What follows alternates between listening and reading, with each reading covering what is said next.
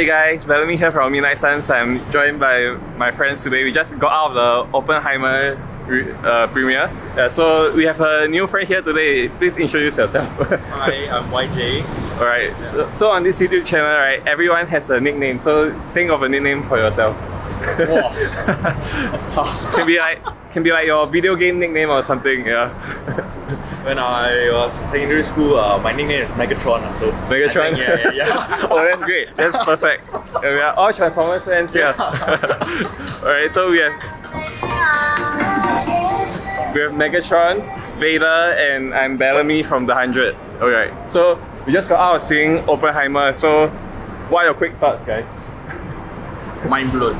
Mind blown. Yeah. So, is this your favorite Christopher Nolan movie? No, it will still be Dark Knight. Okay. But uh, it's good, like it's good. You definitely should catch it in IMAX. Yeah. So I I think it's a great movie, but I wouldn't say it's one of his best movies. But yeah, definitely catching IMAX if you can. Like the the visual spectacle of the movie is like the main selling part of the movie. Yeah. So Megatron, what, what do you think? yeah, I feel that um, this is his second movie uh, that follows history after Dunkirk and it's a very slow paced movie, more slow paced than his other movie, maybe because it was three hours long. But yeah, the as as what Hiker said, it's meant to watch in IMAX. Uh, yeah. the bigger the screen, the best sound system as possible. Yeah, but you need to I think you need to watch more than once to really understand the full yes, story behind not just the explosion but the aftermath of what he has caused and the effect it has on the world.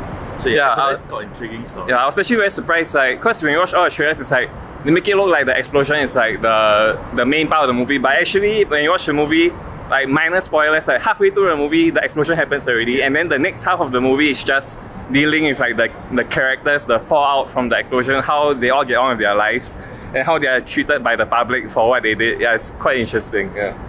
Unexpected, unexpected. Unexpectedly. yeah. yeah. Good. Good. Three hours.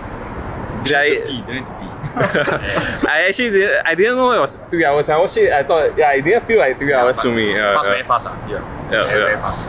Yeah, so highly recommend you guys watch it and watch it with a good sound system. Uh, so yeah, and yeah, I, yeah, IMAX is yeah, you should. The ideal choice. It's yeah, filmed yeah. in IMAX. For IMAX. Yeah, the whole movie is yeah. IMAX aspect ratio. Yeah, yeah. So yeah, definitely watch it IMAX if you can, guys. Right. Any final thoughts? Oh yeah, what would you guys each rate the movie out of ten? I'll give it an 8 out of eight. 10. Uh, yeah, strong 9 lah. Okay, I'll, I'll give it 7.5. Yeah. Alright. Alright, that's all for this review, guys. Go out and watch the movie this weekend, it's great. And yeah, watch Barbie. So I mean, I, we haven't watched Barbie yes, yet. Yes, yes. yeah, but Barbie. yeah, get ready for the Barbie review, which when I'm free, I'll definitely go and watch it. Yeah, we, and we, Mission Impossible. yeah, I haven't watched Mission Impossible, so yeah, need to watch that too. Alright, so thanks again for watching guys and see you guys for the next review. Bye bye. Bye bye.